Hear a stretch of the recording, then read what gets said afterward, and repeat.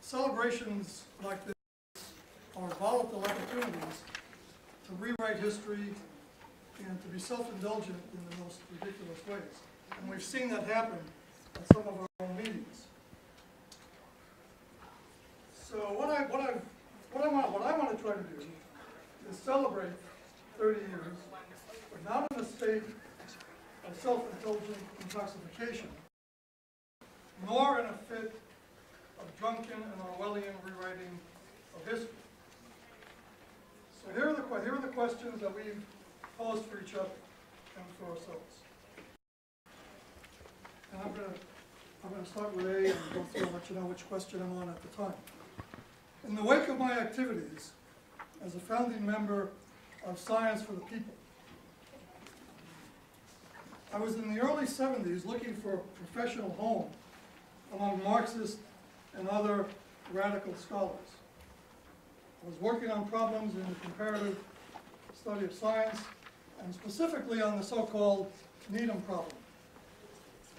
I was not comfortable with the radical venues for a variety of reasons, nor did I think or find academic sociological meetings especially congenial and inviting. It was at this moment in the fall of 1974 that I received a call from the late Nick Mullins, inviting me to join him and a group of others planning to attend the February meeting of the American Sociological Association. Their objective was to form a new professional society dedicated to the sociology of science and technology. First meeting of the society was in 1976 at Cornell. If my voice starts to drop off, let me know in the back, please. I attended that first meeting and was received warmly, both personally and professionally, by neophytes and elders alike. Derek Price must be turning in his grave at the way I'm dressed tonight. I had found a professional home and was immediately caught up in the machinations of the Society's administration through my new relationship with Daryl Chubin.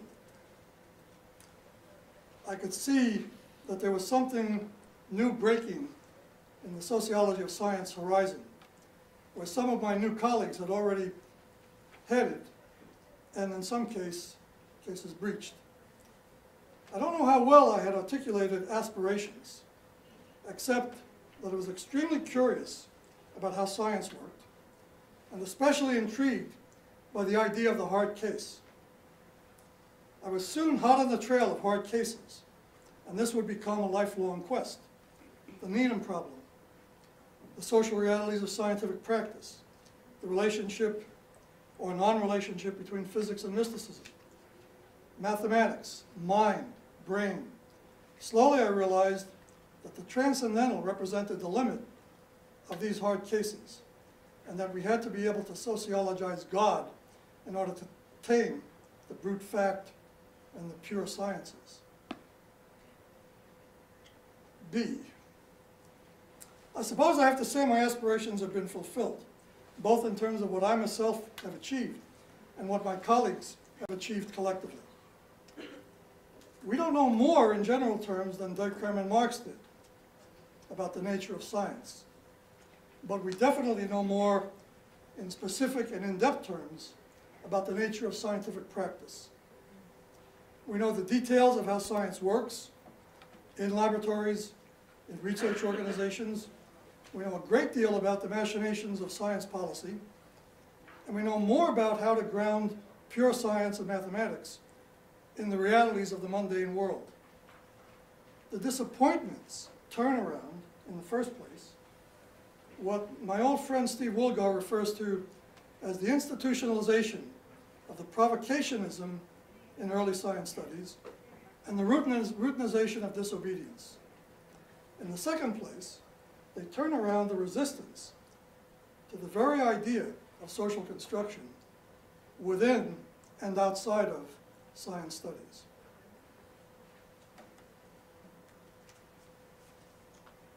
C.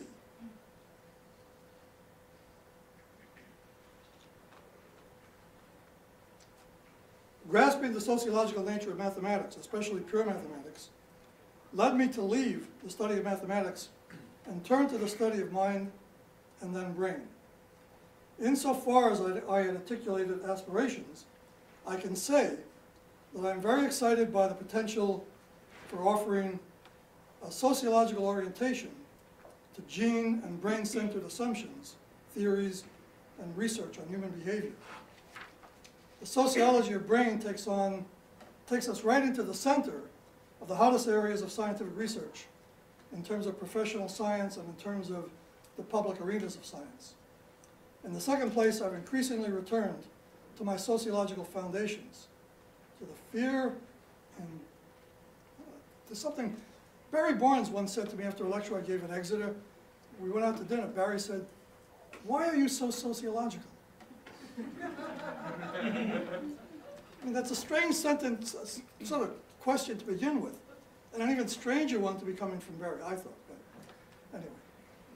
Um, The result has been that I've tended to become increasingly paranoidally sociological, uh, and you'll see some of the results in a minute. Finally, we build on new knowledge the way, is that a microphone? Yes, sir. Excellent. Keep talking. all right? State of the art. We build on new knowledge the way all sciences do, by continuing to inquire, to exercise our curiosity and creativity. And most of all, perhaps, by training and educating the next generations of science studies researchers. I can see new ways of thinking about science, new modes of interdisciplinary research and theory emerging in the work of my graduate students. I have great hopes for exploiting the explanations, the explanatory potential of science and religion studies in ways that impact not only our understanding, but whole cultural patterns. Trifocals, and I'm still used to them. There are limits to all forms of, law, of, of inquiry, and sociology and science studies may go the way of natural philosophy. It will be harder to disassemble, to disassemble and remanufacture social and cultural analytical theories, methods, and perspectives. Let me just say something about the panelists. Uh, all three of us were at the first meeting at Cornell. Um, I met Karen Knorr when she handed me a part of a bitten apple uh, and asked me if I wanted a bite. Let That that- story let- before. let that- let that- let- Haven't we heard that story before? Uh, So here we all are, thirty years later. Now, what, what, what most of you maybe don't know is that the continuation of 4S was a very close thing for a number of years. Every year seemed to be, all right, are we gonna make it even through the conference, let alone show up next year? Hello? Thanks. Go ahead. I'll just, Uh, just this. Um, So things were, things were pretty close for a number of years. And uh, that first meeting, there were 109 people in attendance. Everything was a plenary session. Um, Science policy was really represented, as was scientometrics and bibliometrics. We had the great uh, Professor Szalai from the Hungarian Academy, uh, a major presence. He didn't have to say a word, he just had to sort of stand up, and that was a statement by itself. The importance of that presence was his representation, both, not just of Eastern Europe, but of uh, an or- an orientation to science studies, science policy, scientometrics, uh, things that uh, people often forget were a core part of what this society was about at the very beginning. That's all I have to say on, on that right now. Um, Yeah. I'll see if I can get Just that. The title, The Elusive Sociological Imagination, has to do with my contention that in spite of claims to the contrary, I think there are a lot of people still in, thanks, in, uh, first, you didn't give me a mic the first time, I got an apple. Even in the early years of, uh, of 4S, there was a sense that, oh, we did a few laboratory studies, we now know what the social is, so we can not worry about it too much. My contention is, I think there are a lot of people within the society, within sociology, certainly outside of sociology, who really don't yet quite get what the social is.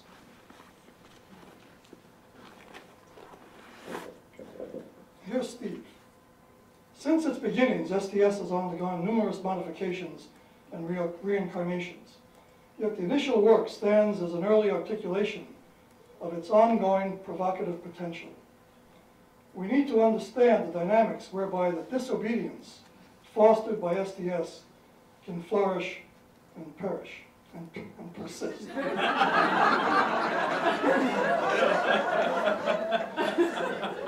thanks, thanks, Steve. You'd have to have known Steve uh, during his Beatles year uh, to know about the different routes uh, Steve might have gone. Um, and to know more about why he is uh, a good representation of provocation and disobedience. I'm going to run through this real quick. Émile Durkheim, Karl Marx.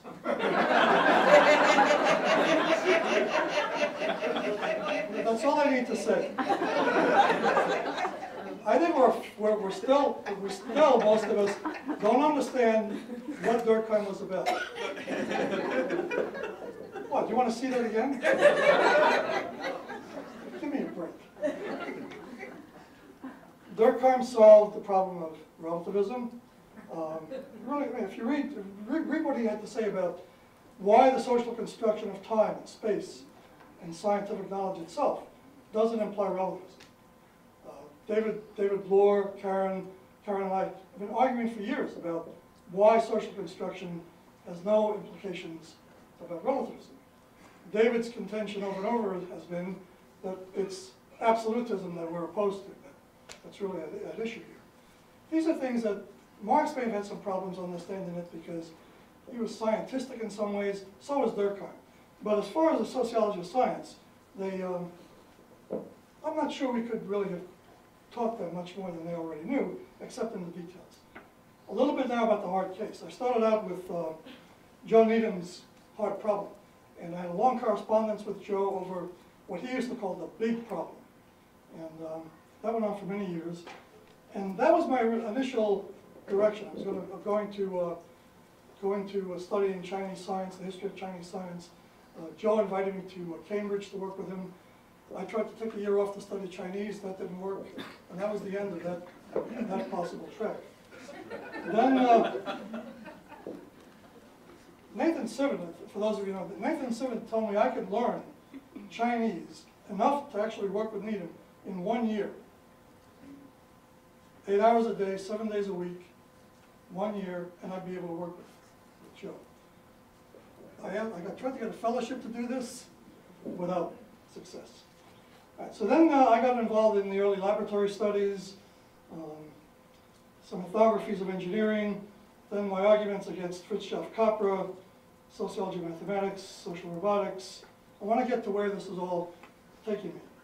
Um, going from, when I, I finally figured out that mathematics doesn't come from inside the heads of mathematicians. So my question became, well, if it's not coming from the heads of mathematicians, why do they have heads? That led me to the, to think about the sociology of mind, but then the real big move to make here is to go to the sociology of brain. And There's Einstein's brain. Here's a Japanese mathematician who was shown Einstein's brain when it was being sort of traveling about. When I meet Albert Einstein's brain, I meet Einstein. You would think it would be easy to disabuse people of that notion. It turns out not to be. Uh, Leslie Brothers, Friday's Footprint.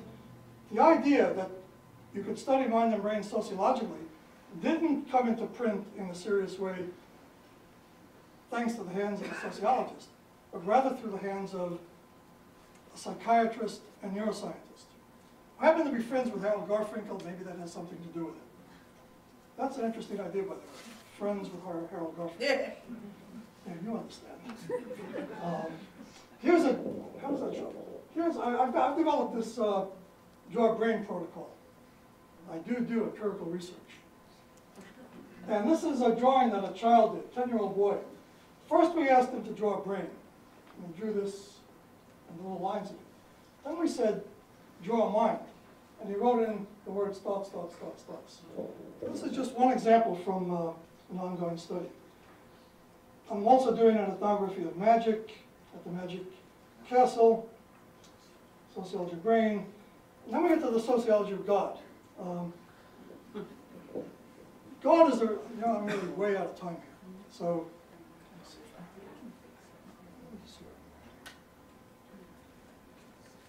I've got, I've got a few more minutes. Um, I wrote, I just wrote a paper with a friend of mine about the math wars. And at the end of the math wars, I put in a section, uh, something like manifesto against the line of.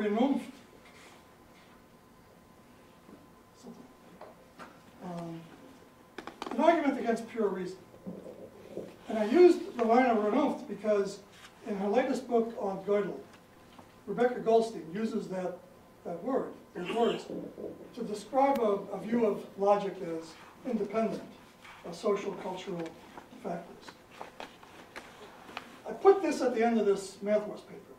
Sort of, we need to do a sociology of God to get rid of the Platonic and transcendental influences that create the grounds for arguing in favor of brute facts and pure math and pure science.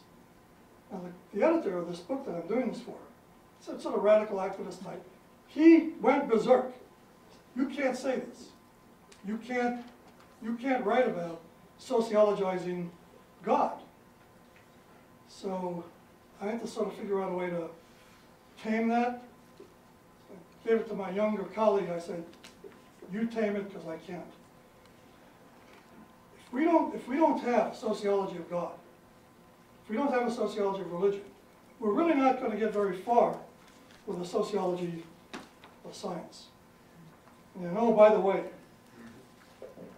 social construction is not a philosophical idea. It's not a critical political tool, and it's not anything like what French Uber thinkers claim it is.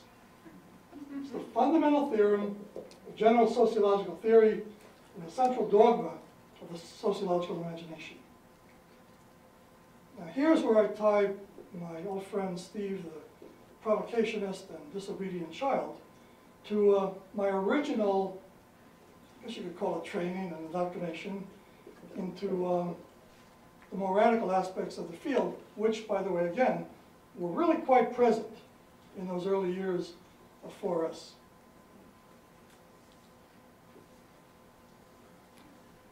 I don't know how much I want to, how much credit I want to give to, to this statement anymore. This was written by Horowitz uh, many years ago, and he probably didn't, didn't mean by this anarchism in the way that I might want to mean it. Um, but keep in mind that Kropotkin wrote that anarchism is one of the sociological sciences. And he called for the application of the methods of the natural sciences to the study of human institutions, by implication, scientific institutions. Does this sound familiar? You've read David Bloor?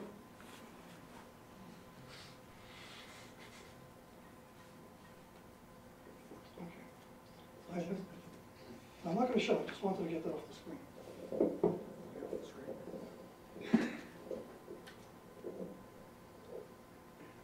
I gotta be careful, I can't move certain directions here. This has been an amazing thirty years. And I think we're really, we really need to settle down and see what it is we've achieved in these thirty years. Um, He's gonna, Terry's gonna talk about science wars. I have a, the title that I gave to the notes I was reading from earlier was the thirty years science wars.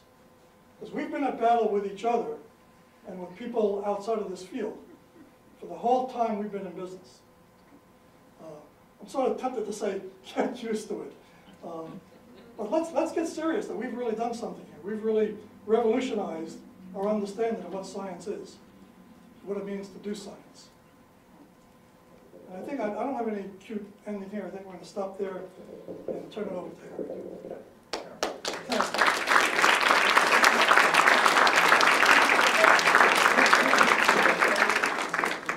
You're second on the program, if you wanna really do that. I'm Tom. Well, Do you want me to do it? Oh, now, as they say, for something completely different. Uh, that's no surprise, is it? Anybody ever see that film High Anxiety, Mel Brooks? High Anxiety? It's got- you know, I've got the mic. Wow. Um, this is going to be short and sweet. Um, very, very different to Sal's. Um, I was going to talk about, uh, I did in fact spend some time preparing uh, an edited version of uh, an event which was big in Britain in 1994, which was a meeting of the British Association for the Advancement of Science. Um, but I learned after I prepared the edited videotape, which I thought people might find was interesting, that there'd be no video uh, facilities here. So instead, uh, those are four of my photographs from the videotape. I didn't know this videotape existed till about a few months ago. Uh, and then I found out that it did, and it's really quite fascinating to go back and listen to it. The, in 1994, Brian Wynne gave the first presentation. Um, the late John Ziman gave the second presentation. Brian Wynne talked about Chernobyl and the sheep farmers. John Ziman talked about, uh, it was sort of very complicated schematic business about how science develops. Lewis Wolpert, who's the, uh, the villain of the piece in the bottom left-hand corner there, uh, accused us all of being absolutely dreadful people. It was, it was a real big science warrior uh, attack by Lewis Wolpert, and yours truly um, tried to make the case for science studies. It was the second two talks, Wolpert's and mine, that, that captured the public imagination, and, and we were full front page of the Times Higher Educational Supplement um, that uh, week uh, and even made the, um, the Daily Telegraph, as I recall, the Peter Simple column, for anybody who ever sees that, where I was referred to as a busy little man.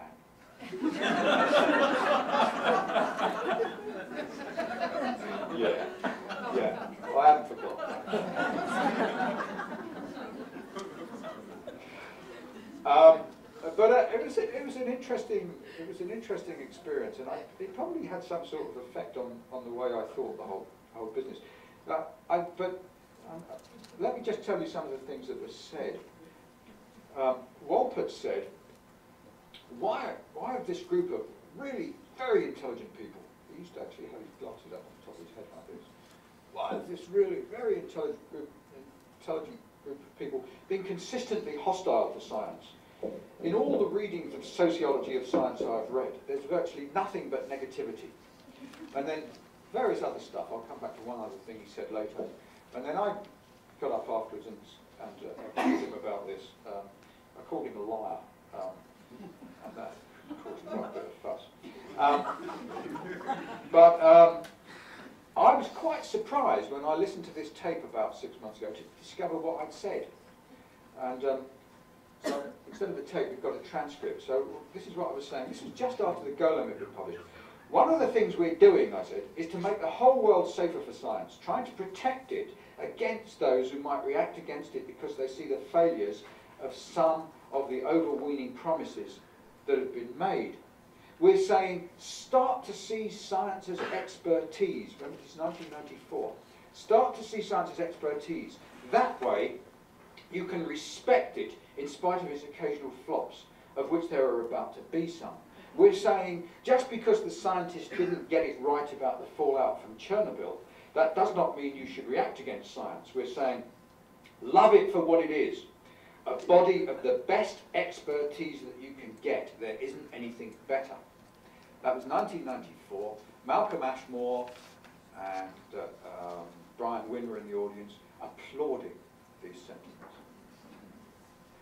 Um, and I was surprised because I couldn't remember that I was on this expertise trip for so far, well, because we were on the expertise trip, because it says similar things in the Golem, actually, if you read it carefully.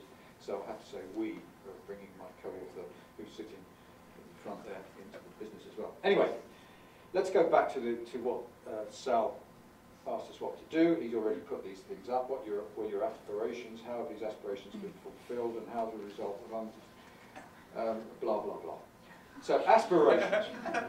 oh, sorry. Do you want to? How as a result, because he's done it already, so I thought we'd do it again. How as a result of the unfolding of events or understanding have your aspirations changed? What are today's aspirations, especially in respect of how we are to build on our new knowledge? And um, these were my aspirations. I started in this business actually in uh, 1971.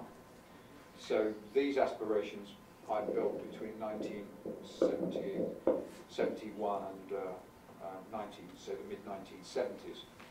Um, there was quite a lot going on actually in the UK before the famous 1976 meeting of 4S.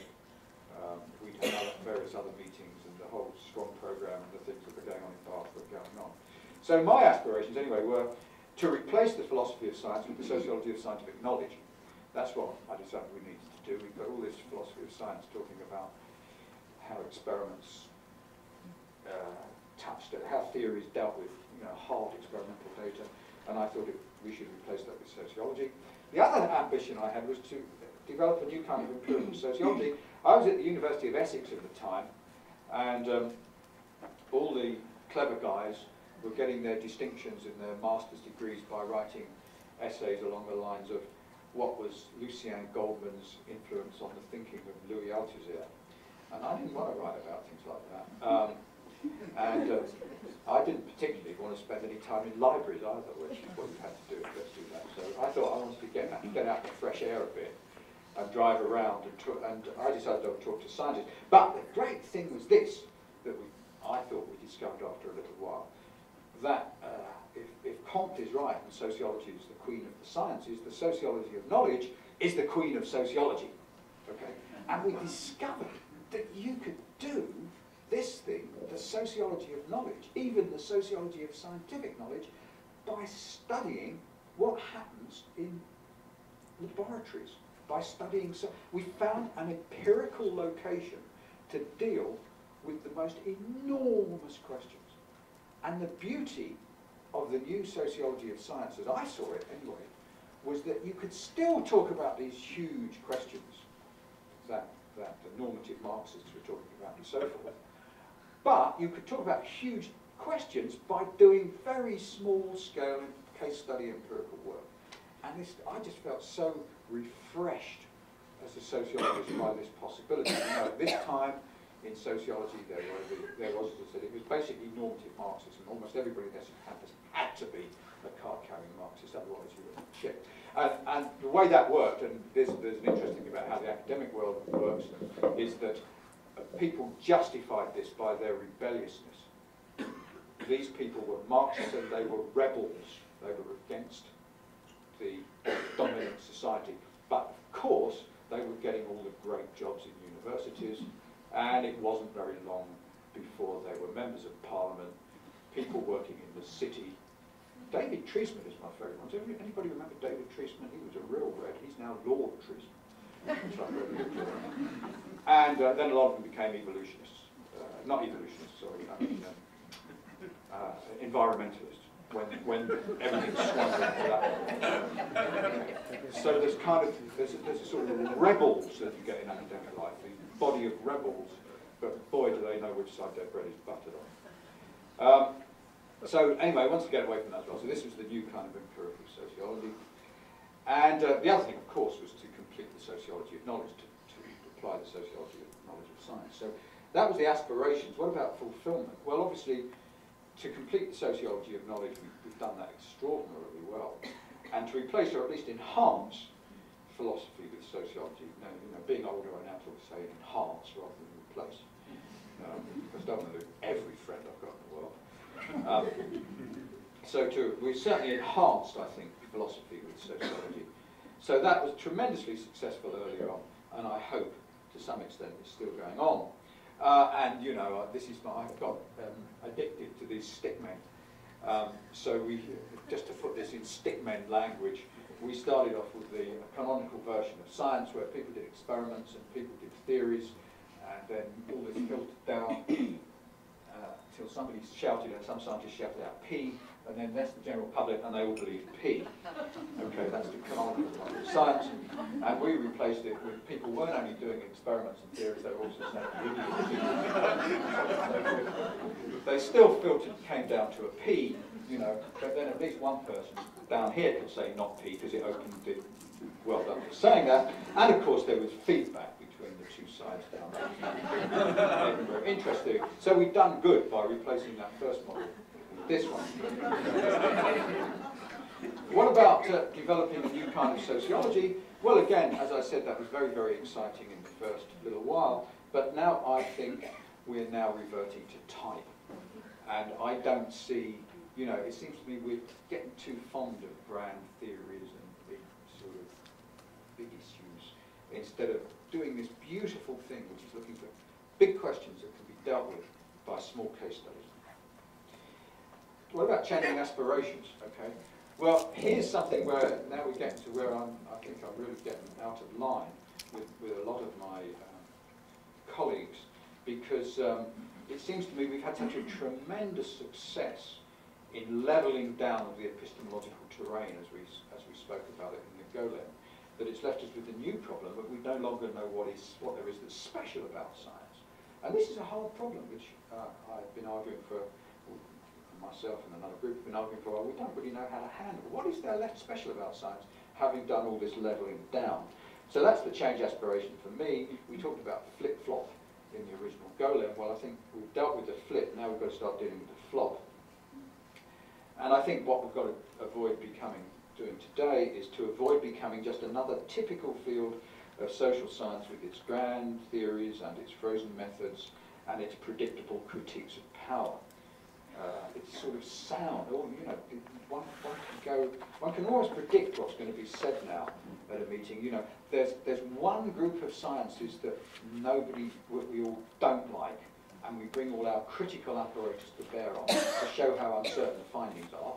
There's another group of sciences that we take just as a matter of course as being correct. All the sciences to, to do with sort of, you know, being warm. Um, and one of the things that stuck in my mind from Wolpert's talk was this. This is another one of the things he said in 1994. He said, we're wildly excited. He was talking about his own field, which is developmental embryology. We're wildly excited. New results are coming out every day. We're really making tremendous progress, and I don't feel that's necessarily the case in the sociology of science. Where's the really new stuff? And I always remember that, I suppose it's one of the reasons I've always been trying to do some new stuff all the time. And um, this is the new stuff we're doing now, uh, not terribly popular, but we're doing it. Uh, that uh, on the left-hand side, my stickmen show that in fact the original two diagrams I showed have gone a bit further, and now the top and the bottom have kind of merged.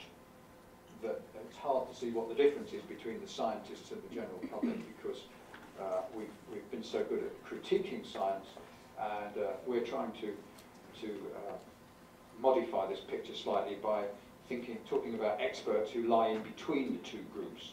To cut a long story short, the Chernobyl uh, sheep farmers, the, sorry, the Cumbrian sheep farmers post-Chernobyl, weren't lay experts, they were just experts without qualifications, and that's the kind of argument, as you know, we've been trying to make. So what about us? Where do we go? Uh, who are we? Are we people who can actually take part in this deliberative process of whether the truth, the scientific truth is P or not P? Well, we do seem, what? Yeah, we do, we seem to make contributions to that now and again. Uh, my favourite example is Simon Cole, actually, who's doing it with fingerprinting investigations. Um, we had a little, had a little go at it with artificial intelligence. But there's a nice epistemological question of how we actually do it. You know, how do we, how do we do this stuff? How do we make, as non-scientists, non-specialists, I should say, make our contribution to whether things are or not? So I think we should be discussing that. Are we a social movement? I hope not. Come on to, say that. Are we people who are experts on expertise? I believe that's one of the things we should say we are without any shame.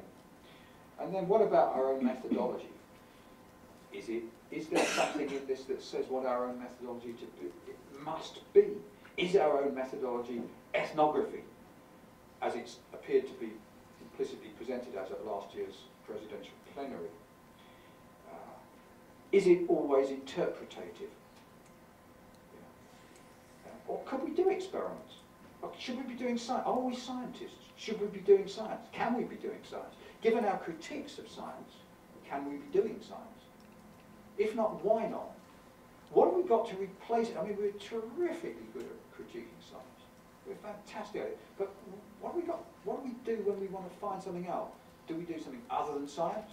I mean, okay, was, it was, this was easy in the 1970s or the 1960s, when if people used to say, people would say, is sociology a science? You'd just say, no, of course it isn't.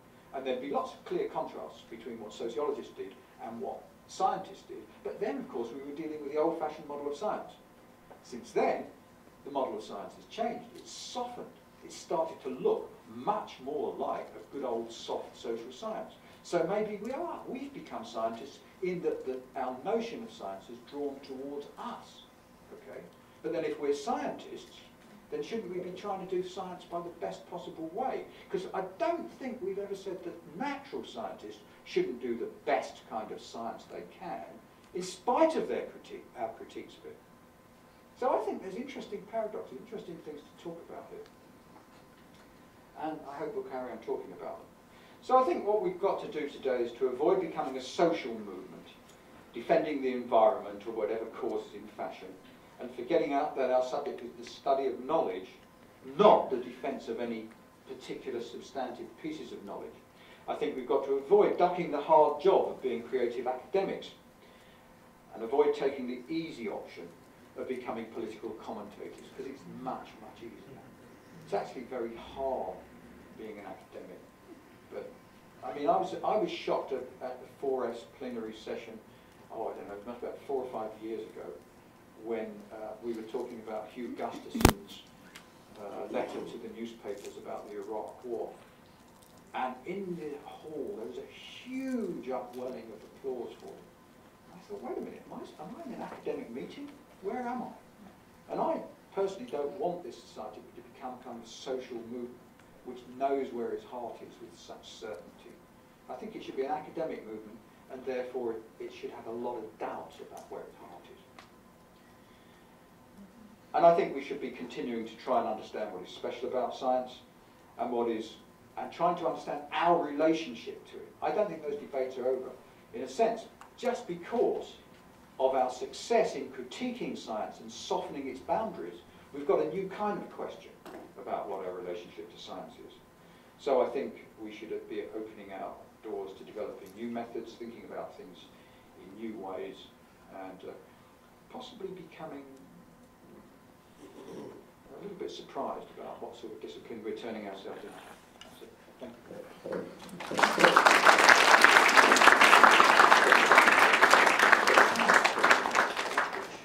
Our, uh, our chair is not here, and I haven't been, I didn't take that over carefully enough, so we haven't been doing proper introductions.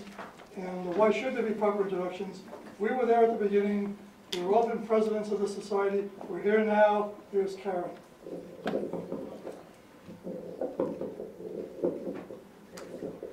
I don't quite know where to put myself. I do not make PowerPoints. For once, I have avoided having them. Usually I have them. But it was supposed to be a fireside chat, so... Um, Here we go. so, so I didn't do, uh, I didn't do a paper or PowerPoint. I um, want to continue a little bit where Harry left off and also answer Sal's questions, which he said I must answer in order to participate. Uh, in fact, I never felt so close to Harry before, both physically and when he said uh, how much this field refreshed him and excited him. Uh, uh, I think the same happened to me. Um, but um, there is, um, there is a big difference also. Uh, I didn't come to this field with great aspirations, and when Sal asked the question, what aspirations did you have? Uh, the sad answer was, in the beginning, I really didn't have many aspirations. I had mainly frustrations with what, um, uh, what the sort of science studies that existed before was allowing me to do. Uh, I didn't like it. I did a big quantitative study uh, uh, organized by UNESCO of scientists and organizations. Uh, we had lots of correlations to deal with, and I even went so far as to learn how to do LISREL models and spend whole nights uh, and days at the big, at the time we didn't even have a big enough computer at the Institute for Advanced Study in Vienna where I was. So you had to go to a computer center to handle the data and to handle the um, uh, LISREL models. And nothing came out of these models. The models didn't, they, they worked, but you could manipulate the correlations by changing some of the inputs. It was very frustrating to me because I had a very scientific world view. I wanted something objective to come out of that. And I learned through doing these models and the quantitative studies that it was actually all up to me how I inputted things or uh, bracketed things or put in new variables.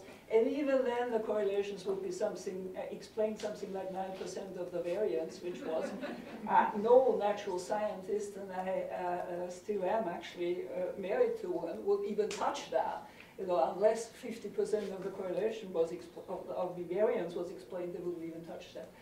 So it was very frustrating to me to work uh, relatively hard for a relatively long time with these data and do the study and gather the data uh, and to come up with no result. And besides that, I had rather traumatic experiences in the field work itself. I did some interviews myself in the beginning to test the questionnaire we used. Uh, and I encountered uh, uh, unbelievable responses. It was like Levi Strauss in the field being traumatized. That you, you would uh, uh, you know, use the same questions on different strata in the hierarchy of an organization. And they will give you very different responses, all saying, what do you want to do with that question? I don't understand the question. You have, to, you have to frame the question to me. All playing it back to me and not giving me an appropriate answer. So these were some of the frustrations with which I came, uh, with, which, with which I left my own culture, Austria, and went to Berkeley. I shouldn't say Austria, I should say Vienna. I went to Berkeley. Uh, and then I came to Berkeley in 1976, early 1976. Uh, I didn't really have a very focused plan as to what I wanted to do. It was not the case that I had something up my sleeves and it was just a question of actualizing it.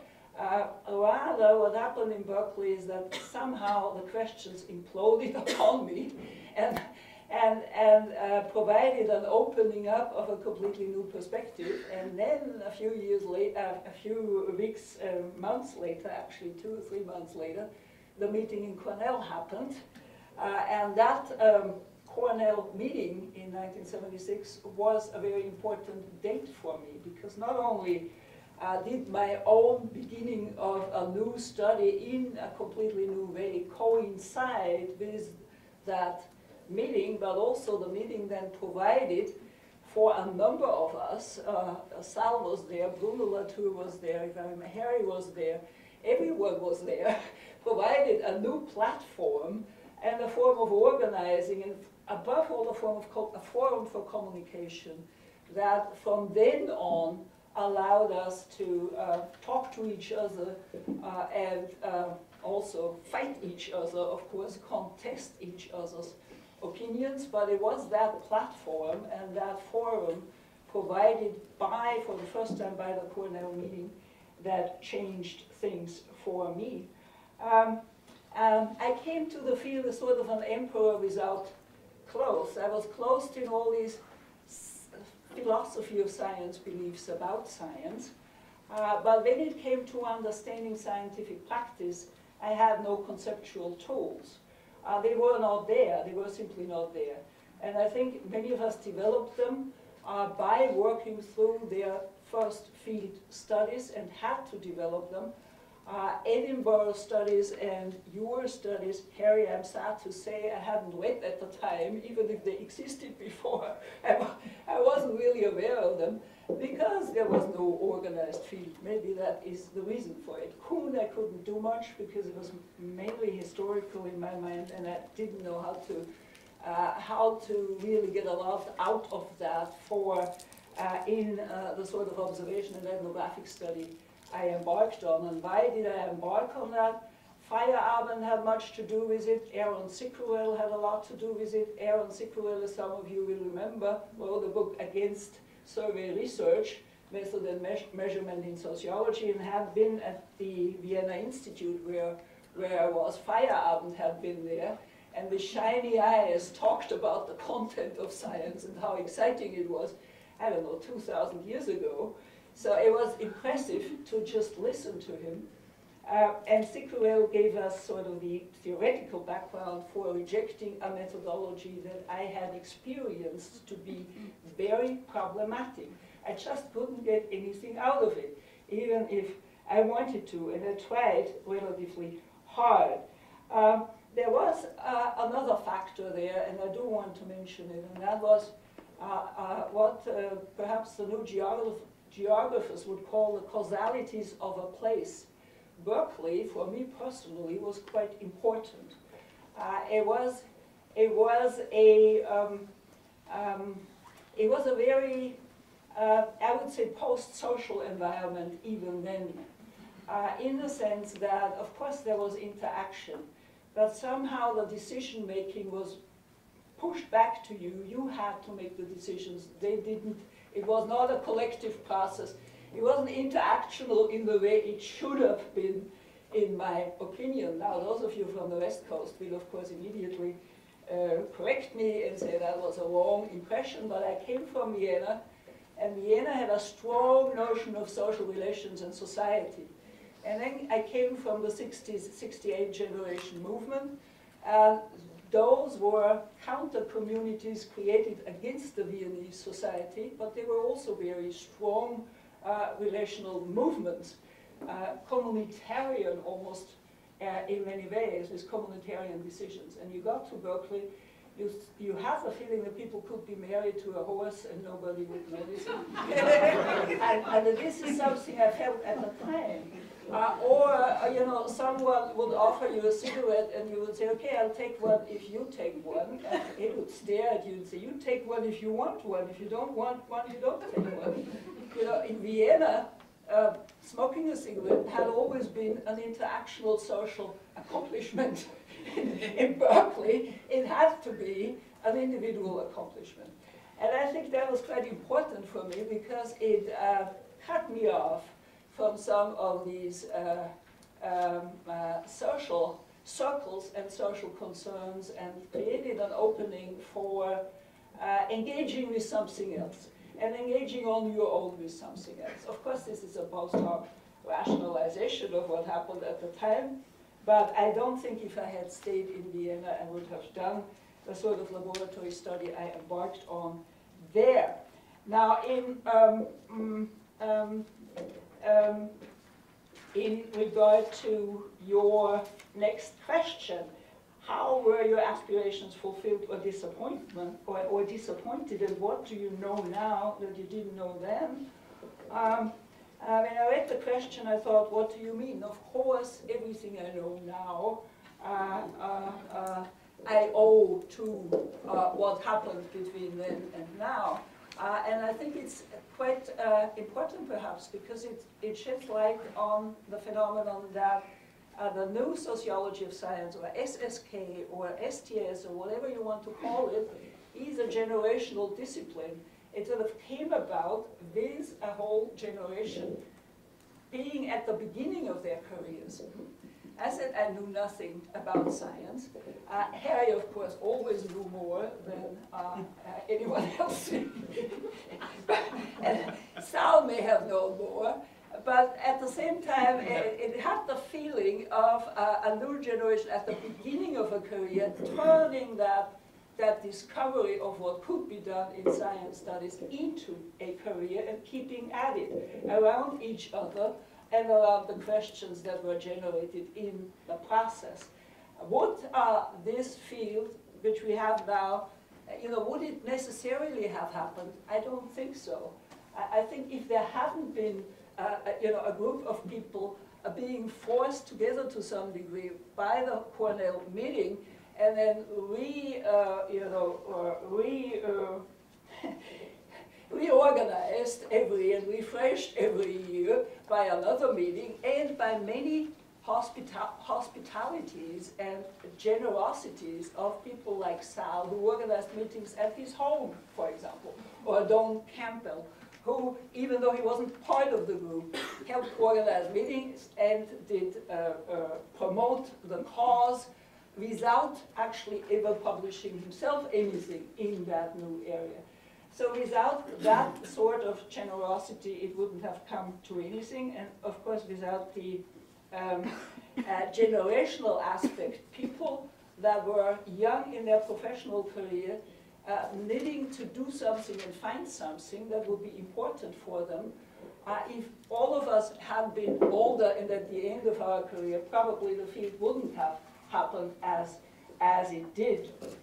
Um, so 1976 was very important, and the field of science studies is one of the great aspirations that has been uh, fulfilled as a consequence of uh, this meeting. Uh, but you also asked me, have you learned something uh, that you didn't know before? Uh, and I don't it's impossible to, um, um, uh, of course, uh, open this completely up and say, list all the things one has learned. Uh, Harry said that before, but I want to put my finger on one thing I've learned that was a little disconcerting for me. Uh, and I believe that I've learned that institutions in science, in all sciences, matter more uh, than I ever wanted to believe, and that I like that I like that they do they matter more. I, I happen to believe now that, you know, the, for example, our humanities ways of doing things have very little to do with the human, and they have a lot to do with how the uh, institutions in the area of the humanities are set up. I, I have seen how that is the case in some of the natural sciences, and it is obvious to me that it's also the case in the social sci sciences. Uh, it is not possible for me any longer to blame all the difficulties we have in the social sciences simply on the field of society and to say, uh, well, it's the human person or it's the way uh, society works that is so difficult and we cannot, we cannot really do much about that. I think we do a lot of things about which we could do something and we don't, and it's institutions that are uh, set up uh, in a historical way or, you know, traditions that emerge, institutional traditions that emerge and are not, very well thought through. And this leads me to the last point, what are today's aspirations, especially in respect to how we are to build on our new knowledge. Uh, this is, of course, complete fantasy, since nobody has any control of anything that happens in this field. there, there is no one, there is no institutional stronghold, unlike, for example, the origin of the field of economics, where there were institutional strongholds that imposed certain doctrines, for the better or for worse, on the discipline of economics. That's not the case in our, in our case. Um, but I do have an institutional, aspirational proposal to make, uh, and that is that science studies after 30 years should become its own discipline, uh, even if it perhaps should be construed as a sort of a neo-discipline. I think that is the logical next stage. It leads away from the social movement aspects Harry criticizes, and I agree with him there. It, it leads away from uh, remaining cultural critics and outsiders. I'm not sure why one cannot work on innovative new topics and be disobedient within a discipline. Uh, science studies, uh, in my opinion, is not particularly strong today, Well, let's say it's not as strong as it could be. And one reason for why it isn't strong is because it happens in funnily called committees and programs, and, and, and, and it is done by individual scholars in other disciplines like uh, sociology or history or philosophy. Uh, and I think what it should do is uh, come together uh, and become much stronger on an institutional level. Uh, however, I would like to see it not necessarily uh, set up uh, as a department, but rather as in terms of centers. That is the way of the future for a number of the, uh, uh, not only biological, but number of natural science disciplines. And if we can do that, we should try to do that too. Uh, I think we are, we have at our doorsteps some of the most sophisticated, uh, intelligence-based, highly trained and specialized, let's just say some of the most deep and intricate rather than just large and flat or small and picturesque cultures. Uh, supposedly these cultures, scientific cultures, are also based on learning which most cultures, in my opinion, and admittedly that's a bit anecdotal and again, many of you won't like it, are not. They are not based on learning. I think many cultures don't learn much. And this is also one of the sad things I believe I have, um, um, uh, I have learned over time. Uh, these scientific cultures are based on learning. They are linked in the public and philosophical eye together already. Uh, they are not something we have to link together. They are all being science or professional expertise or whatever you want to call them. Uh, we are a little bit in the same situation, I think, as anthropology once was, when it had all societies that were not its own at its doorsteps, uh, and before things became too complex uh, uh in, in many of these uh, cases of native societies. Well, we have a much more specialized and delimited field and are not in danger of having to confront the whole world uh, societies or the whole world uh, as anthropology uh, has to now.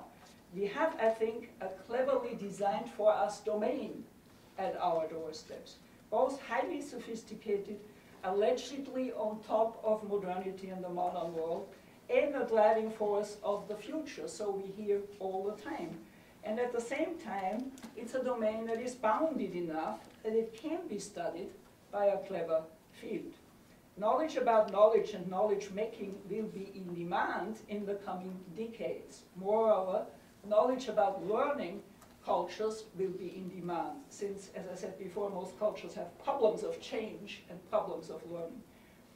Finally, the sciences themselves need reflexivity and we need the sciences reflexivity we should actively apply what we learn from observing science in creating our own institutions and not meekly following what our social science mother fields are doing wrong.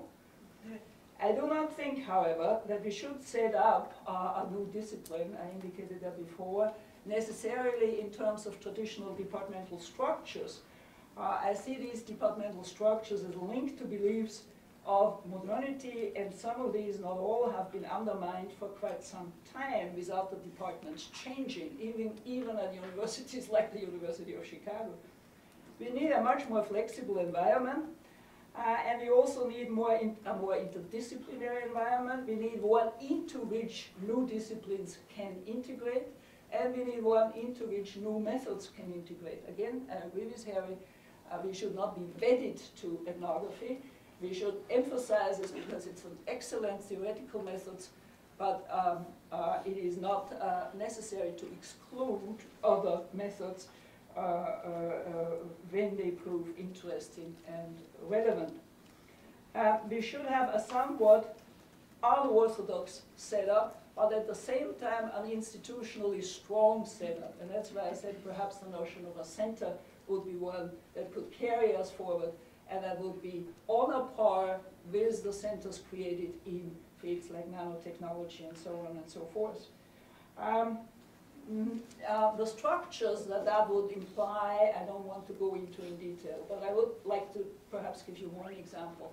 I see no reason why a field like ours should prevent cooperation on the level of dissertations by forcing individuals to do their own uh, uh, separate dissertation and hand it in. Why it should not be possible to allow students to cooperate on dissertations or even to allow uh, uh, uh, an older generations and students to cooperate on something and still uh, be able to get a grade for that. So there are many, many dimensions of the traditional disciplines that are completely